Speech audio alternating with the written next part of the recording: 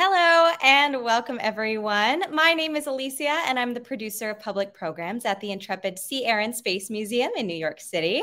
Welcome tonight for our very special museum 40th anniversary year. We are so thrilled to bring you a very exciting and very rare chance to get up close to one of our biggest acquisitions from the past 40 years tonight. So you are going to be able to get a very exclusive behind the scenes look at our F-14 Tomcat, the fighter jet that was made famous, of course, by the movie Top Gun. You'll hear a bit about the development and the history of the plane, and if that wasn't enough, we also have with us tonight two very special guests our curator of aviation, Eric Boehm, and F 14 pilot and former NASA astronaut Scott Altman, who might even share a bit about his experience serving as the stunt pilot for Tom Cruise's character in the original Top Gun movie. Now, after the program, we'll also be hosting an exclusive Q&A session with them just for Intrepid Museum members and Atlas Obscura members. So, members, check your emails for that link. You should have received that earlier today.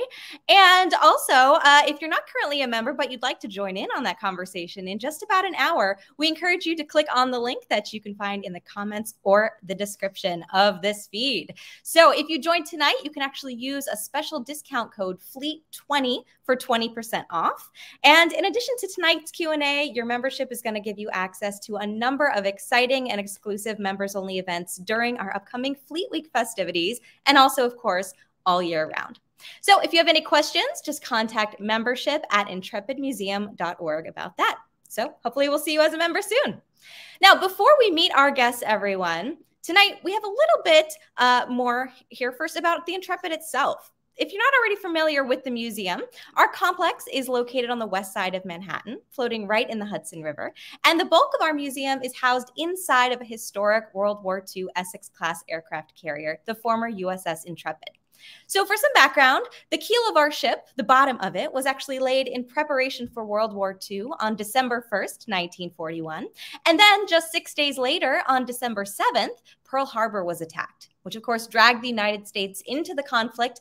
And what was estimated to take three years to build ended up taking just 17 months. Now, our ship began service in August of 1943. It was active throughout World War II and the Cold War, and it also played an important role during the space race as a prime recovery vessel for two NASA spacecraft that splashed down into the ocean after their missions. The Intrepid went on to serve in the Vietnam War on three combat cruises from 1966 to 1968 and a few years later, it was eventually decommissioned to then later become a museum in 1982 after being saved from the scrapyard. So, of course, this year we are celebrating 40 years as a museum, and our mission remains the same to honor our heroes, educate the public, and inspire our youth. On site, we've got 28 military aircraft, as well as a British Airways Concorde, a Cold War era nuclear submarine, the NASA Space Shuttle Orbiter Enterprise, and of course, the reason why you're all here tonight, an F 14 Tomcat. So, everyone, without further ado, I would like to introduce our very special guests for this evening.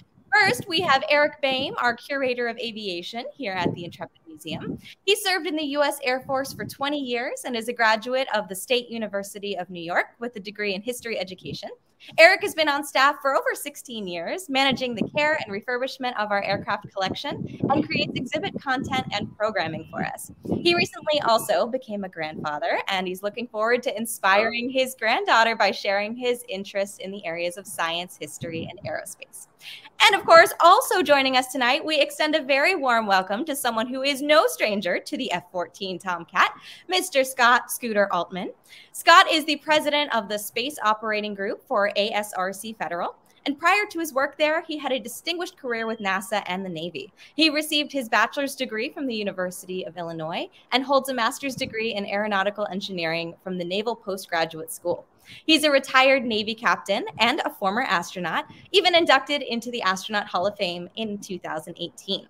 A veteran of four space flights, Scott has logged over 51 days in space and commanded the final two servicing missions of the Hubble Space Telescope. He's also logged more than 7,000 hours in over 40 types of aircraft, but he still considers flying the F 14D over Iraq as his peak aviation experience. So, thank you so much for joining us tonight. And I'm going to go ahead and hand it over to you guys. Thank you, Elisa, and welcome everybody to a beautiful evening in New York City. It is just gorgeous up here. We were worried about the weather leading up to this event, but obviously for nothing, not a cloud in the sky.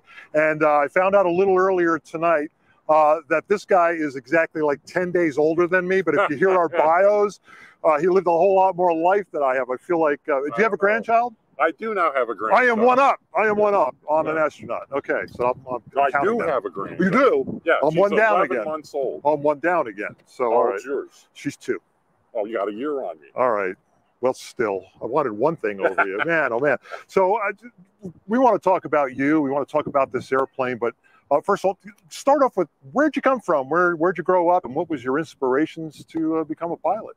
Well, you know, that's a long story. But when I was three years old, I was watching a TV show called Sky King. Yeah. And I turned to my mom and dad and I said, I want to be a pilot. They were both teachers. They looked back at me and they said, You know what?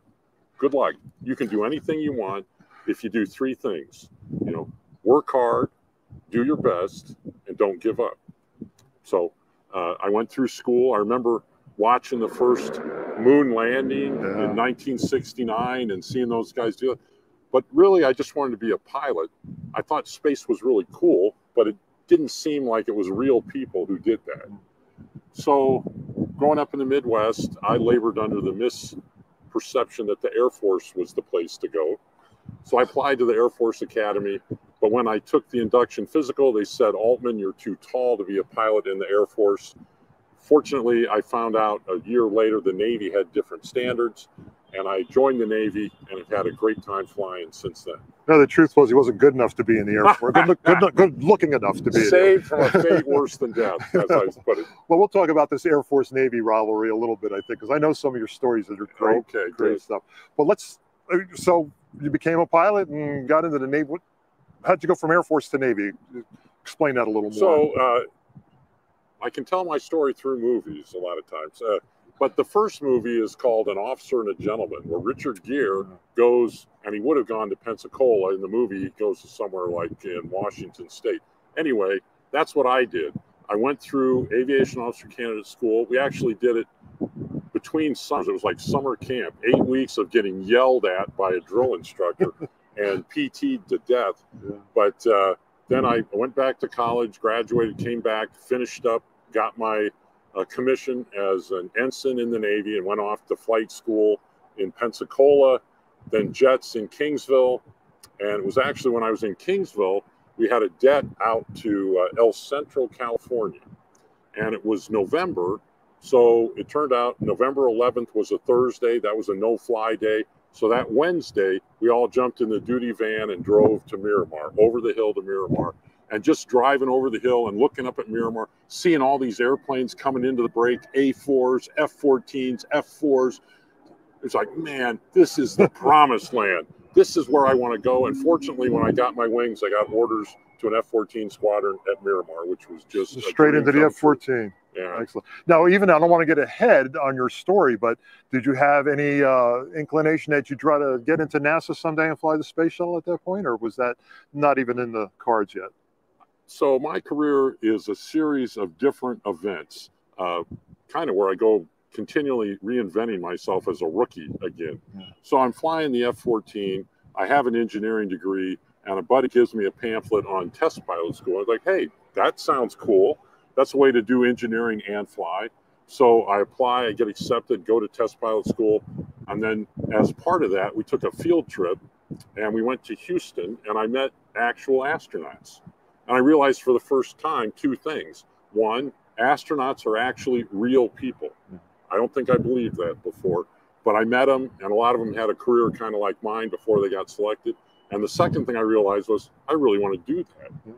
So I applied, got rejected, applied again, and uh, got accepted the second that time. seems to be a common theme with astronauts I talk to. It takes a couple tries. Yeah, some guys get in on the. Don't give up. Don't yeah, give up. That goes back to that same thing I said. Do your best work hard, and don't give up. So let's talk about the one of your favorite airplanes. My Can favorite, I say your definitely my favorite. favorite airplane, the number one airplane. Anything. I was just thinking about this the other day. You know, if if I could go back to be a lieutenant in a fighter squadron flying the Tomcat again, that's a dream come true. Well, tell us something special features of this great airplane then? It's a, an amazing airplane, you know, from nose to tail, the capability that it has. Uh, up to 72,000 pounds, launched by this little tiny knob here, throwing that whole weight off the ship. That's amazing to me. The uh, ramps here are made to drop down to get the shock wave perfectly positioned within there uh, so that the engine is protected. And it makes the airplane capable of Mach 2, which is incredible. What kind of uh, weapons did you watch out for that? What kind of weapons did you uh, carry? So, and it thing? could carry a lot of air to air weapons when I was flying it. We later brought air to ground on board, but the, the preeminent missile of that time. Bring is, the camera down this way. Is the AIM 54 Phoenix missile. Now, the, the Phoenix is about a thousand pounds. So when you had that on board, you had to do all that and calculate what your weight was before you rogered the weight board to get catapulted off. But the Phoenix was a, a huge beyond visual range missile. You could fly and track 24 targets with the uh, track while scan radar, and you could launch six Phoenix at once against an enemy bomber fleet if they were ever coming fire in. and forget was that the proper terminology all well there's a point at which you could forget it you would guide it to a certain point, and then the Phoenix has an active radar in the nose that would take over the terminal phase and glide. So at one point, you could let it go on its own, and it would be it could get all the way there. Now, it's not the only missile we carry. There's also the AIM-7 Sparrow missile, which uh, was 500 pounds and a great missile. You had to stay locked on with us. You couldn't shoot that in track while scan. You had to have a, a solid track of a single object there when you shot that off. And then the Sidewinder, probably one of my favorite missiles, heat-seeking missile. Uh, you get a tone, you hear it in your headset, and you pull that, and that is fire and forget. It's locked on, and it's going to hit what it, it's looking at. Wow. And of course, you have a gun on this thing, And we have a, a Mark 61 uh, Vulcan machine gun, really capable. We would typically fly uh, with around 600 rounds in the gun, uh, and you could be through you that in an incredibly short period of time. When you fire a 50 round burst, it sounds, and that's it. You've shot 50 shells already. Okay. Well, uh, if you have questions, more you know, deeper questions, if we don't cover it, uh, please ask those in the uh, the chat, and Alicia will get those up to us. Um, one of the most prominent features on this airplane, though, of course, is the swing wing. Yeah. So if we come back here, I'm going to try to get out of your way so you could talk about the wing and its positioning and how it moves. So the pivot point is right here. And so the wing is currently in its stowed position to try and give you the minimum uh, coverage on the flight deck when you're trying to stack all these airplanes on a flight deck. So it's swept to 72 degrees. Once you got in it and started up, you'd pop it out and bring it out to 68 degrees, which is where as far aft as it would normally go in flight. And then when you get up to the cat, bring it all the way forward put down the flaps and get ready to launch off the cat with the wings at 20 degrees. Uh, then once you're in the air, you have a little switch uh, on the throttle that you can command the wings back, or you can leave it in auto and they'll sweep where they're supposed to be, depending on how fast you're going or what kind of a G load you're putting on the airplane. Now, was there any difference between the, those first F-14s you flew and maybe some of the later models that uh, were upgraded? What were the big differences? Well, the, the one big difference between the original F-14A and the F-14B and D is uh, you can kind of see the sticker on the side of the uh, engine, GE.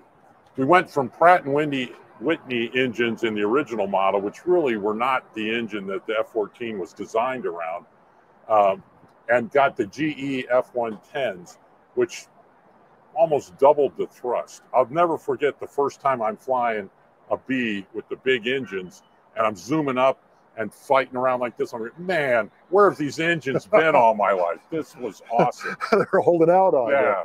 So was that a development? Was there a problem developing that engine, or it just uh, came along later? Yeah, the Navy kind of ran out of money. The TF-30 was planned. It was actually out of the F-111, as I understand it and said, okay, we'll just keep that package together because some of the F-14 came out of F-111 development. Right. Although they realized the F-111 was way too big of a whale to be a Navy. Yeah. I worked on those in the Air Force, and that's a, a long story. That F-111 to F-14 story. Yeah. Look it up; it's fascinating.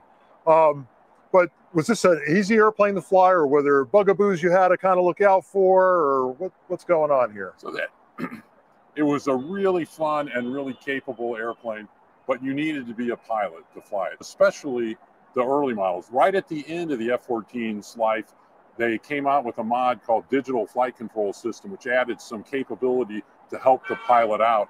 But the early ones were really cool in a lot of ways because if you knew what you were doing, you could kind of trick the airplane into doing what you wanted. For instance, pulling up into really slow flight, and uh, if you normally would move the stick one way, the airplane would go the other.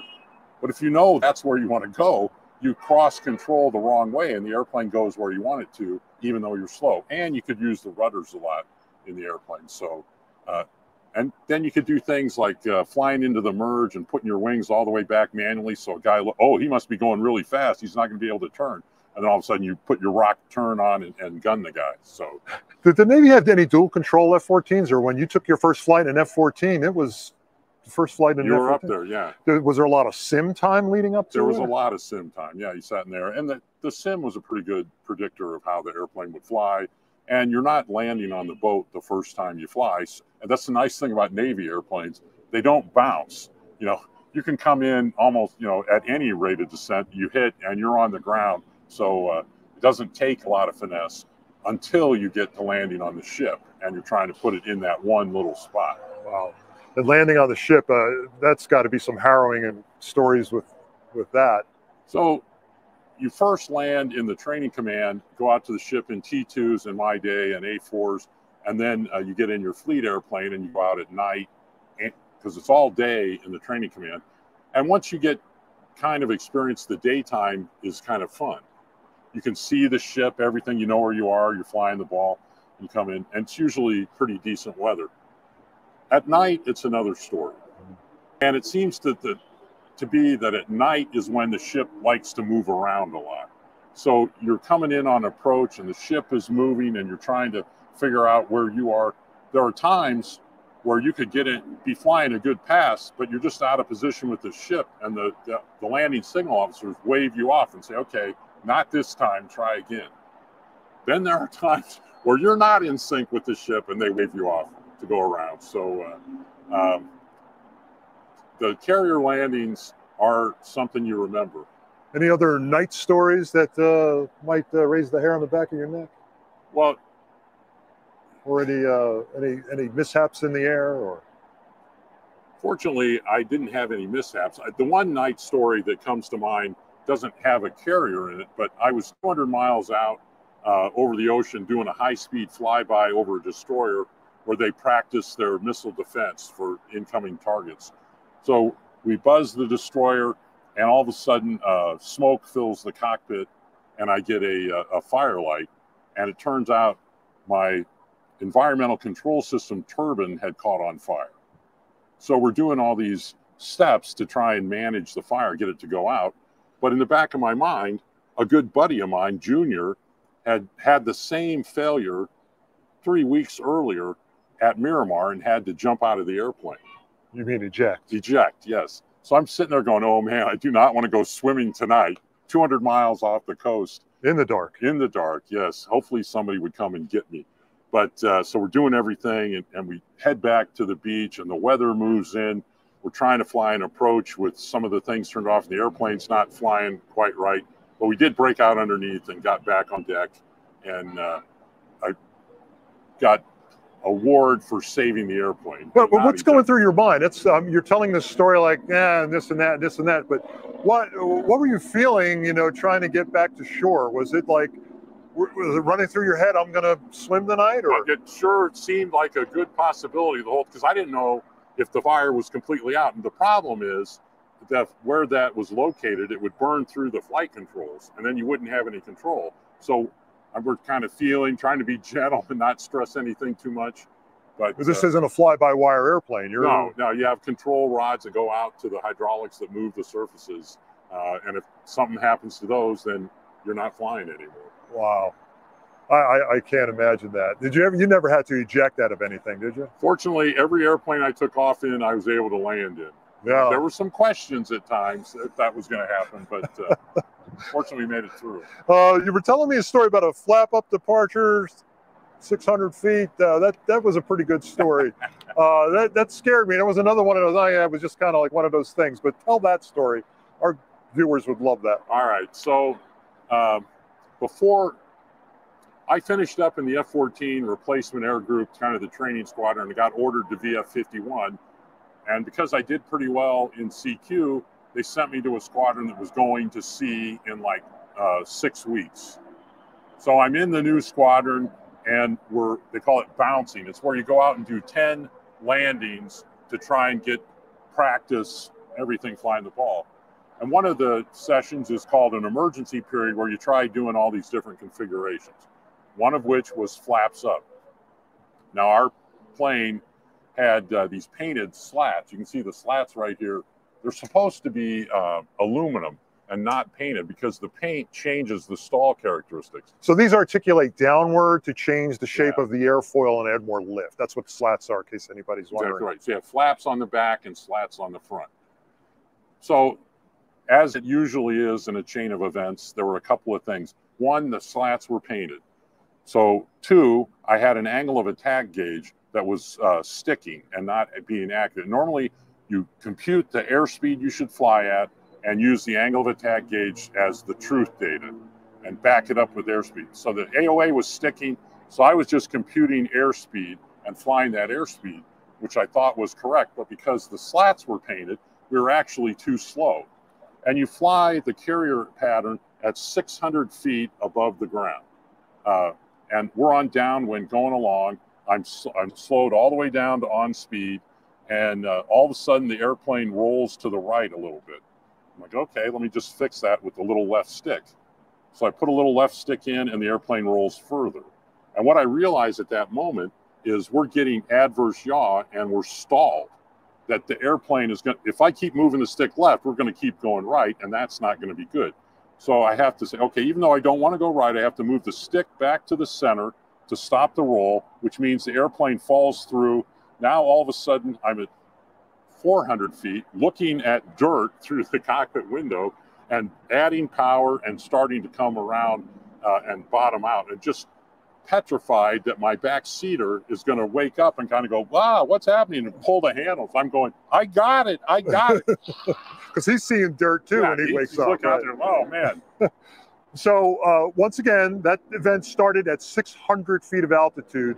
Uh, the cool and calm. This is why I was not a pilot. I would have been all day long jumping out of that thing. Uh, amazing, amazing that you could think through a problem in split seconds. But that's probably why you became an astronaut too. Maybe it helped. I don't know. Maybe it helped. Now you, we looked at the three weapons right here that we have on our display airplane, uh, and they're all air to air. Right. Did this airplane ever have an air to ground capability? So when they first brought out the F-14, it was with the idea that it would have an air-to-ground capability, and the racks that you actually have on here had the capability of ordnance being put on them. But when the Marines didn't buy the F-14, the Navy said we want an air-to-air superiority fighter, and we're not going to do the air-to-ground mission. So okay, but then times changed, and around 1989, the Navy said, you know, we should look at putting uh, air to ground munitions on here. We had uh, things going on in Kosovo and there, the Gulf War was heating up. So we started doing weapons separation on the F 14 while I was flying as a test pilot, which was actually a lot of fun to do. You'd fly with the bombs on, go out and hit a test point where, okay, I want to separate these bombs at 600 knots at 10,000 feet in X dive angle and, uh, and see how they come off. You'd have cameras on board and a chase plane that would film.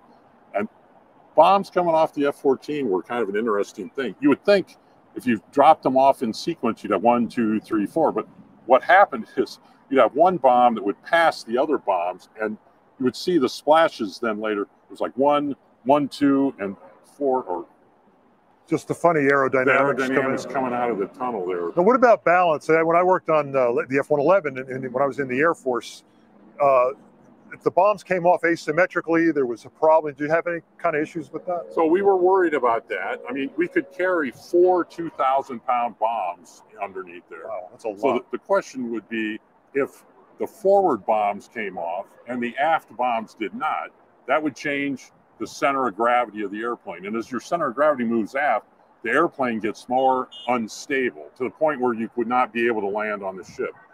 So we did an experiment that I ran as a test pilot to see, okay, what should you do if you have uh, captive ordnance in the back?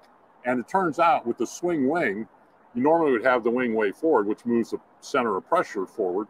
But if you swing the wing back, the center of pressure moves aft, and you can restore that delta between the CG and the center of pressure and make the airplane stable again. Now, the downside is the more you move the wings back, the faster you have to be coming aboard the ship. But we figured out what the best place was and said this would be more optimal. The other thing that happens is it when the wings are full 20 out, there's uh, flaps out here, and there's something called aux flaps that are kind of right in this area. And once you sweep a little bit, you can't have the aux flaps down. So again, that makes you a little bit faster. The inboard set. But the uh, yeah. the ship could handle it. You just ask the captain to put a few more knots on, get a little more wind over the deck, right. and you have a pretty right. good. I'm looking at the airplane, and I noticed. Uh, I mentioned I worked on the F-111. It had the same system with yeah. the swing wings, and uh, we had problems with this.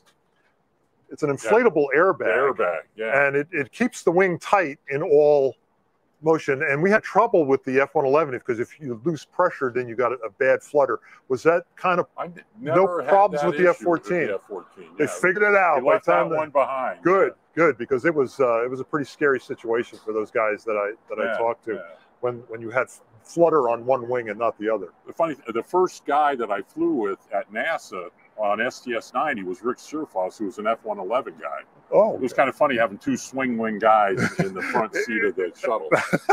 that, that's a great story. Yeah. That, that's an aviator story that, that tell.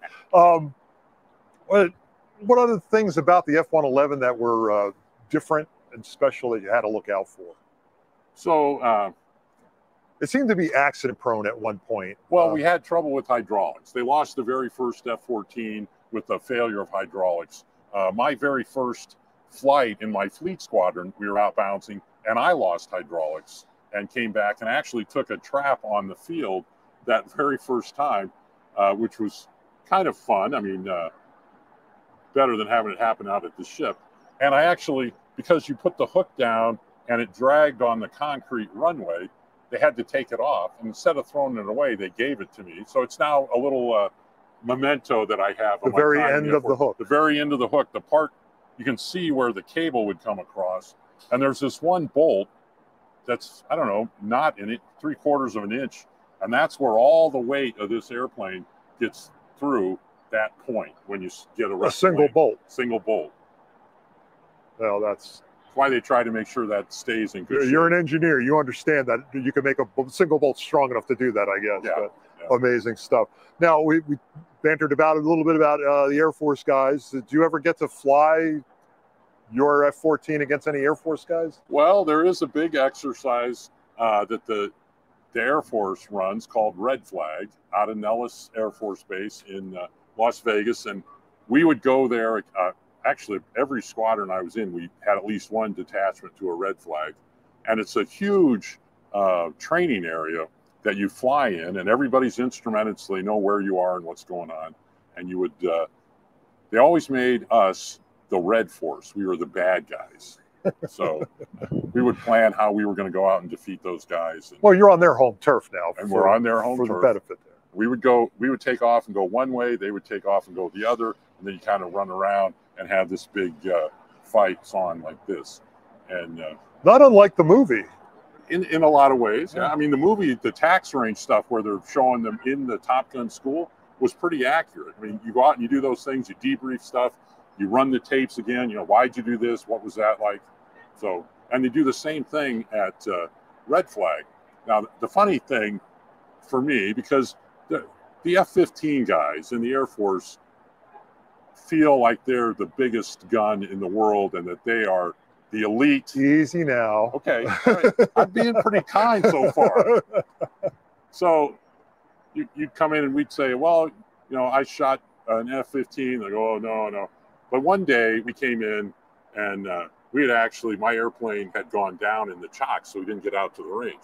The F 15 guys come in and say, oh, we saw the F 14s at 40 miles. We shot, turned, and left. You guys are all dead. I'm like, uh, sorry, we weren't out there today. We went down in the chocks. I don't know who you killed, but it wasn't us. Did you get to meet these guys like at the club later, or They, what? they were in the, the back of the debriefing room. You know, interestingly enough, we didn't pal around that much. That Really? The inter-service rivalry stayed in the air. Uh, uh, I heard a story about something at the O Club. what happened at the O Club? Well, this is, goes back to F-15 guys. They have a tradition of wearing this very nice, fancy silk ascot with their flight suits. Has like their squadron logo on it and things. Well, that harkens back to the days of World War One when you had open cockpit. Yeah, yes, yeah. I'm sure right around the corner from the F-15 time. so they're in the old Club like that, and we're just in our, our you know grungy green flight suits with nothing like that. Okay, guys, come on. We all go into the bathroom. We wrap some toilet paper around our necks and make a, our own toilet paper ascot and come out like, hey, how do we look? What do you guys think? Until eventually, uh, in order to save destruction of the club, they asked us to leave. it's like those old 1940s movies where the Navy and the Army guys yeah, there is a movie like that. where they have to pitch- yeah. Um, you, you, you got any more rivalry stories? There was one you were mentioning something. Uh, Well, Uh, yeah, th- there is one that I really uh, would like the opportunity to explain. okay, So um, we came back from cruise. I got selected. We filmed the movie Top Gun. Uh, the, eventually, the movie came out, and then we were on cruise. And part of the cruise, we stopped by the Philippine Islands, and the Air Force had a base there, Clark Air Force Base. So we had planned to do these joint exercises with the Air Force. But we were flying off the boat while they were on land, and uh, some of the guys, Navy guys, were flying around and they would see Air Force guys and they would jump them and start fighting without a brief, which is against the rules for the Navy and the Air Force, but you did it anyway. they did it.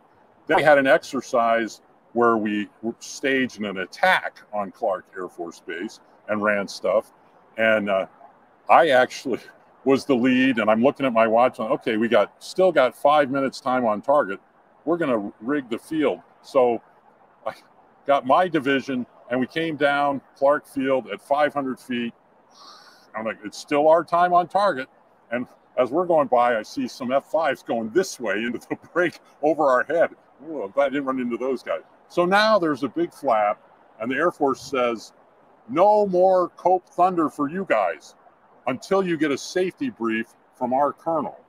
It's like, okay, so we pulled into the PI by now, and the guy comes down, and he's in our ready room. He spends a half an hour saying, hey, you can't jump people you haven't briefed with. Don't do this kind of stuff. And those guys who rigged the field at that low pass, that was unacceptable. I didn't say I still had time, but I kept my mouth shut. And then the guy finishes up, all right, you guys, I know you have egos. I've seen Top Gun, but keep it cool. And my CAG, to his ever loving credit, stands up and goes, Oh, yeah? Well, I've seen Iron Thunder, and you guys are all pussies. Out of the room.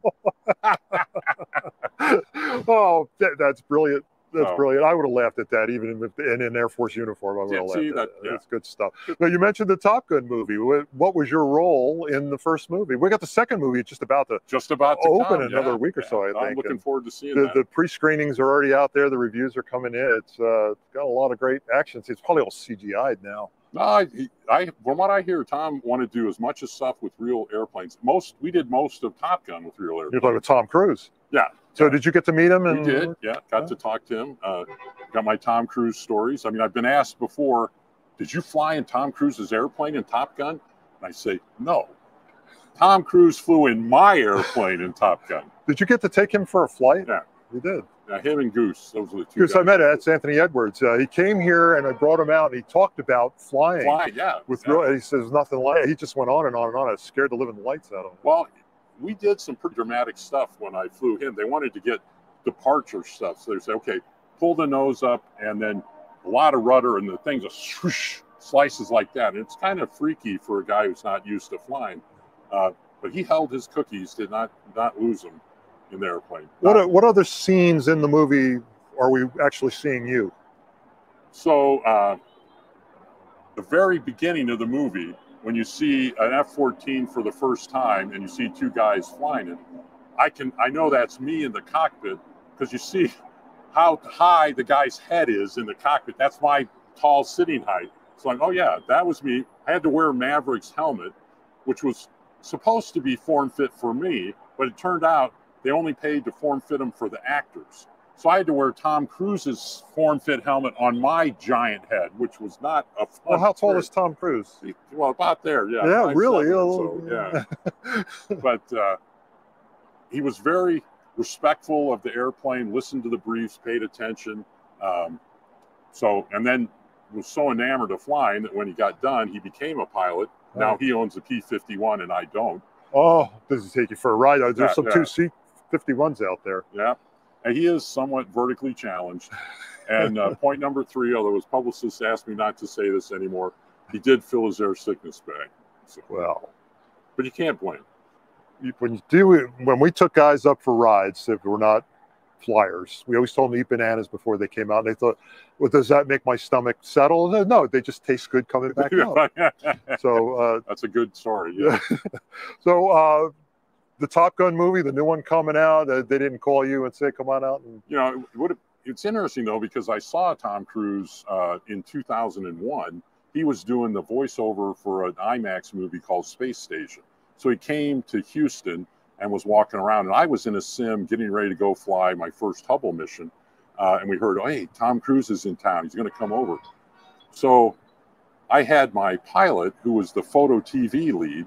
I said, "Okay, we want to get video of Tom when he's over here. We'll take it up with us on orbit, and then we'll beam it down and say." hey, look who's up here with us right now. But so Digger spends all morning in the, the sim figuring out how to have the camera on without the red light telling him that it's running because we had been told no pictures of Tom. But I think I overemphasized the size things. He had a fixed camera position. Uh, Tom shows up. He's got Penelope Cruz with him and his kids. He goes up to the flight deck. I stayed on the mid deck and talked to Penelope for a little while and then uh, uh, Tom came down, left. We talked for a little bit. Uh, it was funny because he comes around the corner and he said, "Hey, Scooter, good to see you again." And I'm like, "Hey, Tom, nice to see you too." The funny thing was, my call sign wasn't Scooter back when we did the movie. It was D Bear. If you look at the credits, so I'm like, he must have come around the. The next guy you're going to see is Scott Altman. His call sign Scooter. Now you flew with him in Top Gun. You know? Gentle the reminder. so anyway, Tom comes down, they leave, and we're all like, okay, Digger, let's see the footage. And uh, we play back, and you see a guy from here down. I'm like, oh, that's not going to work. Come on. Yeah, well, we'll get him when he goes down the ladder, but he went down the ladder backwards, so you just see the back of his head going down. We're like, oh. Oh, that's no so we had nothing. Not good at all. Well, anything else you want to tell us about this airplane? Probably have some questions coming in. Uh, Lisa, if you if, if any came in, you could uh, pipe them up. But is there anything else about the F-14 that sticks in your head that they would like to know? Well, just because I've been picking on the F 15 a little bit, I will tell another F 15 story, but it relates to the landing gear. Now, if you look at the size of the landing gear, that is a really beefy landing gear, you know, big, solid uh, thing. And F 14s and Navy airplanes in general don't bounce, right? You're talking about the strut Yeah, right here. the strut right there. And it would, you know, drop down about two feet, I think, when you're coming in. But it really absorbs the, even though you're coming in at about 25 feet per second for uh, an F 14 arrested landing. Now, the F 15 has a lot spindlier landing because they're all trying to come in gentle and touch down, all gentle and pretty in that. but they took an F 15, it was actually SMTV TD, uh, short field takeoff and landing maneuvering technology demonstrator. Uh, regular landing gear. It had new engines. It had different fly-by-wire stuff Has some canards up on the front and, too. and big canards up in the front. Yeah, it was a really cool airplane. I got to come out for the Navy evaluation of the airplane, but the day before I was going to fly it, we had I had made arrangements to drag a Navy Fresnel lens, the thing that you fly the ball on, and they put it there at Edwards. So these guys came in and they flew the ball, and the system was great. You could really do a nice ball flight, but they flew it all the way to touchdown, and that was a mistake because their airplane had two things. One was an auto derotation capability doing it, sensed weight on wheels, it would derotate so you could stop as fast as possible. Well, the other thing it had was regular F-15 landing gear. So they're flying a Navy style port. They hit, and what do they do? They bounce. Auto derotation kicks in, and they land on the nose, Oh, and then bounce and take off. And the chase guy looks and oh, your landing gear's Yeah, you 45 break- degrees Yeah, you over. just broke a landing. Yeah. gear. So they came back, landed on the lake bed, and towed it in and, and fixed it. They're like, so, but I get out to the next, okay, I'm ready. When is my flight going to be? Well, it's going to be a while before we get this thing back Wow, out of the yeah. barn. As a maintenance guy, I would be really upset. Yes. So, Air Force guys, give us a break. I- All right, we understand the aviator thing. It's uh, Well, the other thing about the new movie Top Gun is they're only flying F-18s in it. But you got to give them a break. That's all they got. They don't have an air superiority fighter to use in the movie like they did last time. So, so. What's your opinion of these new airplanes out there, like the 22, the 35 F for 35, the new F-18 Super Hornet? the the interesting thing is they would all complain about the F-14 being an aluminum overcast because it's so big. You look at an F-18 Super Hornet; it's almost the size of an F-14. The weight is very similar Yeah, too. yeah. It's really getting up there. Uh, is it more capable? I'll put you on the spot. I still believe. I mean, the F-14 could have been and continue to be a great air superiority fighter and, and air to ground. Even uh, the Navy just didn't make the investments in it. They say it costs too many maintenance hours, but I think if we had the part support the F-18 had, we would never have had the the maintenance uh, problems that we did. When I was a maintenance officer, we were playing catch up, moving parts from one airplane to another because I couldn't get replacement parts fast enough. Yeah.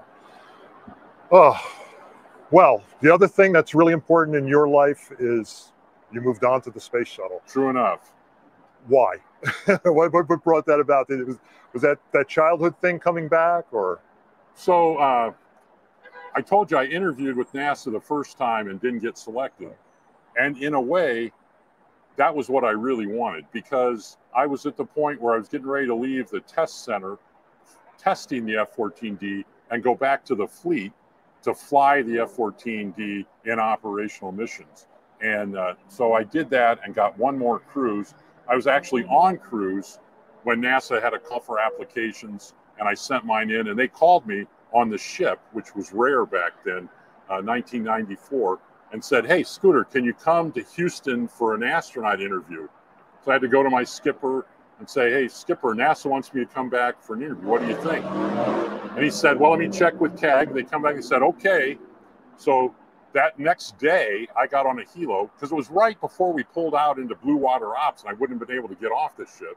And I heloed into Bahrain, spent the night, got on a uh, British Airways flight, and was flying back to Houston. And I, I realized nobody on this ship talked to NASA but me.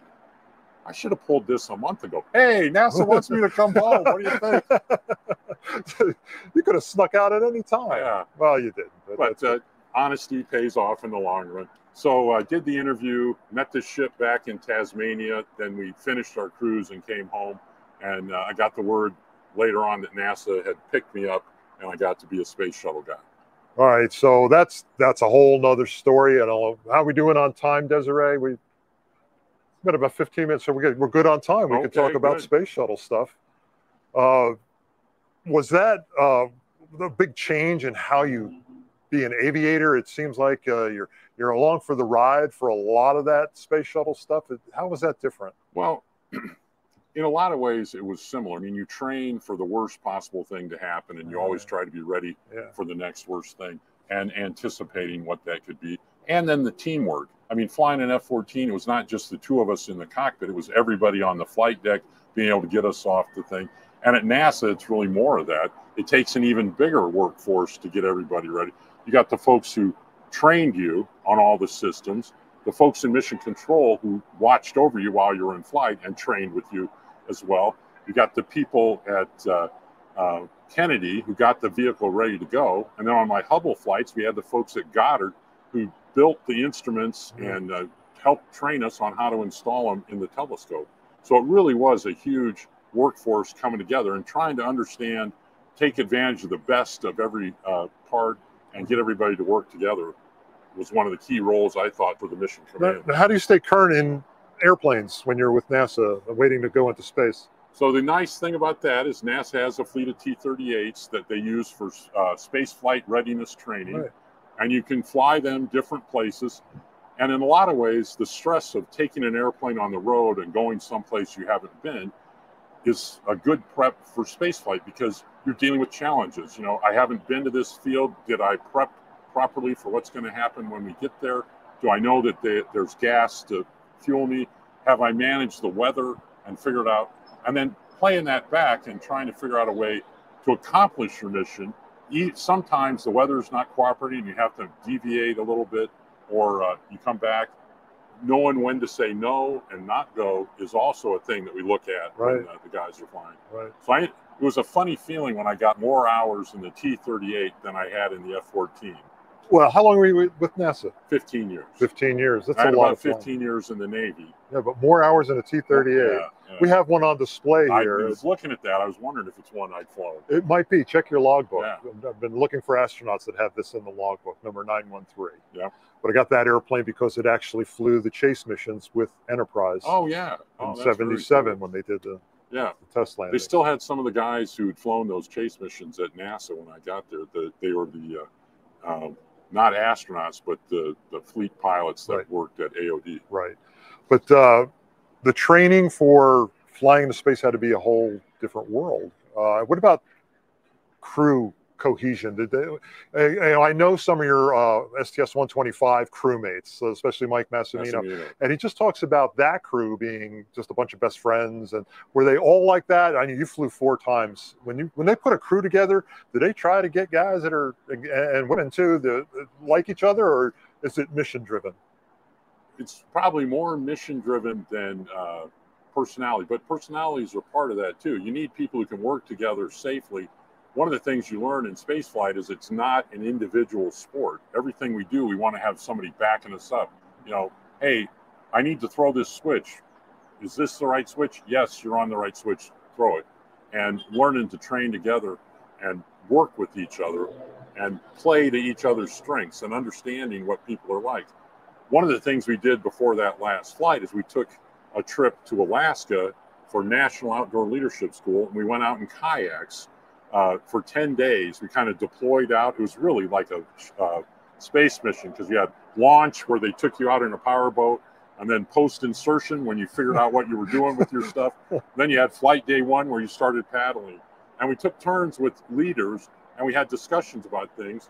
We had one time where we were talking, okay, what should we do? Uh, where should we go tomorrow? And we talked and had different opinions. And one person said, well, you know, we really need to do this. And if we don't do that, that's the stupidest thing ever because this is the only right thing to do. Talked for some more and decided, well, you know what, we're going to do this other thing because of this and that. And I was kind of concerned that that person would say, well, that's dumb. I'm not going to go along with that. But you got to see how people responded and said, once they'd been heard, they were willing to do what you decided as long as you let people get their viewpoint across. But there's still a commander you still have, Final sometimes word. have to make a call. Yeah. yeah. Um, what about that feeling of going? I've asked every single astronaut I meet, I ask them the same thing, and the answer is always different. That first launch, the sensations of it, what's it like? I mean, the, the rest of us that are all earthbound, we like to know this stuff. Well, so you're in the sim for maybe a thousand hours, and you feel like you know everything that's going to happen because you've done all these practice launches. Uh, but you suit up and you get out there and you're lying in the seat for two and a half hours before launch on my first flight. And uh, the countdown's going along and you think, well, you know, this is this is another sim. You know, it, you, your mind just says, okay, nothing to worry about. We're just going to have a sim. But then at six seconds, the shuttle main engine start up and the vehicle starts shaking. You're like, huh, that's a little different And then five, four, three, two, one, and at T minus zero, the solid rocket boosters go off, and boom! There's no you, you, jump off the pad, the vehicle's rocking and rolling like this. Like, wow, we are not in a simulator anymore. this thing is going somewhere. And then uh, as you're going through the thing, you know, the shuttle simulator would tilt back, and you'd feel more pressure on your back, like you're having G forces. Well, when you get real G forces on you, there's no doubt that you're getting your chest compressed. Uh, on my first commander flight, we're going uphill, and you, you know, uh, uh. but the thing I learned about as a Navy guy is you got to sound good on the radio. So the call would come up, uh, uh, Columbia, Houston, two engine TAL. Oh, okay. Roger, Houston, two engine TAL. well, the whole world's listening to you, And right? Digger turns to me, Scooter, how can you talk? Another question I always ask astronauts: When you finally achieve orbit and you look out the window the first time and you see Mother Earth, is it is it is it goosebumps? What it what is it? What what happens? I actually got my goosebumps a little early on my first flight because you launch and you're inverted and you have a roll to heads up. And you could roll the heads up either for the commander or the pilot side, depending on where you are. So you're doing about Mach 13, you're at about 400,000 feet, and we did the roll the heads up, and my cockpit swept the horizon line. So I looked out and I saw the curvature of the earth and the blackness of space behind me, and I'm like, wow, this is cool. And then they're like, okay, get back to work. We're still going somewhere. I've got things to do. But that first look uh, is something I'll never forget. I don't think I could look away. I don't Yeah, know if I yeah, could look away. It was a challenge. We're going to move towards the front of the airplane because I think we're we're under the wing and we're falling out of light. The sun's Ah. setting here in New York City, and it's just uh, it's a beautiful evening. It is a beautiful evening. You're really lucked out. So, what's the job of the back seat guy here on the so F-14? again, it's a we didn't cover that. you know each each position is key so the pilot flies the landings and uh, takeoffs the rio operates the weapons system he's the guy in charge of running the radar tracking the targets uh, and backing the pilot up and you really have to work as a team probably the biggest problem for me with the movie top gun is when they get jumped by uh, uh, jester i think in the one point and they're like, "Oh, we got killed because we were dumb." No, he got killed because Goose wasn't checking six and looking out and saying, "Hey, Maverick, break off." So that's the Rio's job, you know, looking around, keeping a head on a swivel, and checking behind you all the time. In addition to running the radar for when you're looking in front. Pretty good visibility in that bubble canopy. It's not too. bad, yeah, definitely better than uh, the F4. Yeah, that's kind of a hole for the Rio in the back of that. Not as much forward visibility. We had a lot of questions from visitors when they see the F-14. They see them all on TV, and they're all gray and camouflage or uh, combat markings. And uh, this one is red, white, and blue. This was uh, a Grumman test airplane. It never served in the fleet. It's actually the seventh. It's a very early bird. Did you? This is an incredible airplane. It was the premier flight test airplane after they lost the first airplane with the hydraulic. But Ship 7 demoed everything. They were the first with the new engines. They ran, turned it into a D with everything up front. An amazing airplane. It was a blast to fly. And Uh, you flew this and one. this, yeah, built in New York, Bethpage, flown out at Calverton on Long Island. So it's really fitting that it's here at home in New York City. New York City. Yep. It was so much fun going up to Calverton and flying and doing the different tests that we did. Did you do in-flight refueling with this? We did, yeah. There's a refueling door is right there where the Grumman is. Oh, right here. Yeah. And it's kind of funny because you see, you see that panel there. Some airplanes you can see pictures of them and they've taken that off.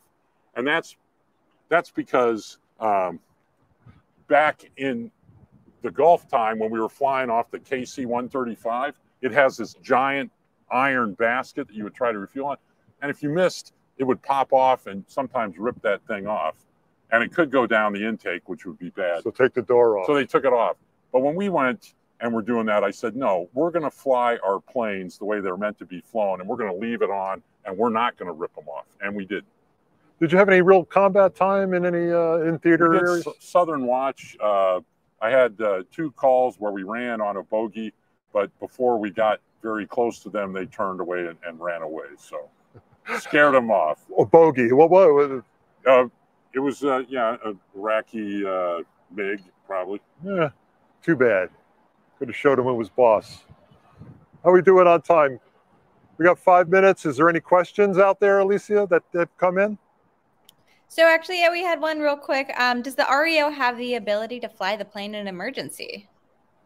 Okay, so the question was: Is the Rio the what does Rio stand for, and does Radar intercept officer. does he have a capability of flying the airplane if you're incapable? So in the F-14, the only controls are in the front. The back seater has controls to operate his radar and slew the uh, slew the radar basically with a little hand controller. But there's nobody flying but the front seater. So if you're incapable of controlling it, he's got to kind of take over and Yeah, make decisions. A, a friend of mine who was a Rio first and then converted to be a pilot flew with a guy in. Uh, he was in the back seat. The guy was in the front, and his front seater had a heart attack at the ship. And he's like, "Oh, I'm not feeling good." You know, all the things you would have with a heart attack. But Pig was able to talk him in. I mean, because Rios can really help pilots uh, and and give you advice on what's going on and stuff. Uh, and he got his guy in. He took a trap, and they pulled him out of the cockpit and uh, flew him off the ship. And Pig never saw him again. He Wow. survived, I think, but he was off flight status. So uh, you mentioned real quick there, there was a Rio who then became a pilot. Was did that happen? It, NASA, uh, Navy was doing that a little bit. It was called the uh, Rio Retread program. So you'd have guys who are really good in the back seat. I mean, if you had a, a top Rio in the back, you could be doing a dogfight with somebody, and you just listen to what the Rio tells you to do.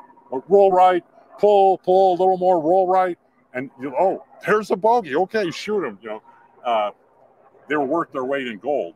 Uh, and so sometimes you say, hey, let's take that experience and move it to the front seat. Did former Rios make good pilots? Most of them. Some of them. that's why the Navy quit doing it. There were a few guys who got a little cocky, I think. Yeah, yeah. But uh, these Rios, did you fly with the same Rio all the time, or was it a different guy, or did you? Was there crew continuity? You would try to have a crew continuity when you started out, but the way the flight schedules work, you'd wind up flying with different people at different times. Uh, the skipper would normally have the same Rio that flew with him if he was a pilot. Sometimes your skipper was a Rio and he would want a pilot that he flew with most of the time. And you would see that happening. But I was a schedule officer for a while and trying to match and keep everybody like that was just impossible. All right. Well, I think we're going to wrap it up unless there's any other questions. Yeah, we could absolutely chat with Scott and Eric all night long, everyone. But we do have our Q and A with our members right after this. Um, so yes, I do. Unfortunately, we do have to wrap up our program for this evening. But once again, just want to say thank you so much to our curator of aviation, Thank Eric for Boehm. Coming out. Thanks. No, And awesome. of course, our very special guest, Scott Altman, for that amazing tour of the F 14 and for sharing so many incredible stories with us tonight. What a special treat to have you with us and talking about such a cool plane. Well, thank you very much. It's an honor uh, to be here. I Uh, just, for me personally, thank you very much Well, for coming out. no. So awesome. this is just great for everybody. So thanks, Alicia. Off to you. All right. Thanks so much. And yeah, everyone, thank you all for tuning in tonight and for joining us as well. Uh, as a reminder, if you are an Intrepid Museum or Atlas Obscura member, we will be having this exclusive Q&A session with our guests as soon as this broadcast ends. So check your email for the link to that or contact membership at intrepidmuseum.org if you are having any issues. And of course, if you enjoyed tonight, uh, well, we've got some other exciting things coming up. We're going to be looking into just one of the many, or many of the other treasures, rather, at the Intrepid Museum. We have so many historic aircraft. Uh, we've got so many other really cool things on board. We'd love for you to come check them out, but also we do have to keep them up, right? We have to take care of them. So please do consider making a gift to support the preservation of planes just like the F 14 and other historic aircraft at the museum. And you can do that just by visiting support.intrepidmuseum.org. Also, as a reminder for everyone, our museum is open to the public seven days a week. So if you are in the area, come on by, check out the amazing F 14 yourself in person right up on our flight deck. And also, don't forget, Fleet Week is just around the corner. So join us on site at the museum throughout Memorial Day weekend for even more fun activities for the whole family. So, everyone, if you've got any other questions, reach out to us through our website, intrepidmuseum.org, or through any of our social media channels. But otherwise, thank you so much for tuning in tonight, and we will see you next time.